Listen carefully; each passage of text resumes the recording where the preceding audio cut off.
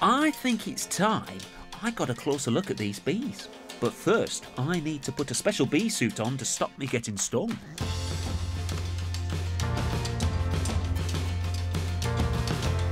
The bees here live in wooden boxes called beehives. Look at all these bees, there's thousands of them. Look, this is where the bees make their honey. Yeah, we won't take all of it, just a little bit. So, uh, what are we doing next, Lisa? Well, you can see that there's a wax capping on top of here, so the, the honey is not going to come out unless we cut that wax capping off. Wow, can you see the honey dribbling out? I think it looks like cheese, but like you're chopping cheese. And it's really slimy. Yeah. Like melted cheese. Yeah.